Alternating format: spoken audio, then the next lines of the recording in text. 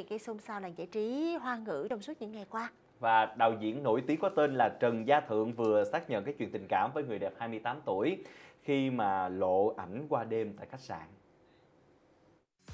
Các paparazzi của Hồng Kông Trung Quốc chụp được những hình ảnh đạo diễn Trần Gia Thượng tình cảm với diễn viên trẻ Hạ Mạc Kiều. Hai người cùng dạo phố mua sắm, sau đó cặp đôi qua đêm tại khách sạn.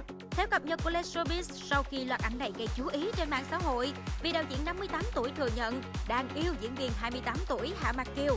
Ông cho biết hai người hẹn hò vài năm nhưng không muốn công bố với khán giả. Trần Gia Thượng là đạo diễn nổi tiếng của Hồng Kông, Trung Quốc.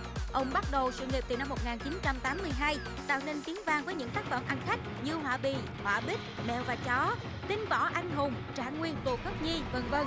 Ông từng kết hôn và ly hôn. Hồi tháng 4, đạo diễn từng vướng bê bối xâm hại tình dục nữ diễn viên trẻ Trịnh Sản. Ngay sau đó, ông đã lên tiếng phản bác mạnh mẽ. Hà Mạc Kiều năm nay 28 tuổi, cô từng có dịp hợp tác với Trần Gia Thượng trong phim Hỏa Bích, Tứ Đại Danh Bổ. Nhiều nguồn tin phỏng đoán Hạ Mạc Kiều rơi vào lưới tình với đạo diễn danh tiếng khi gặp ông trên phim trường Hỏa Bích. Nhờ quan hệ tình cảm với Trần Gia Thượng nên nữ diễn viên mới có tên trong dàn casting phim Tứ Đại Danh Bổ.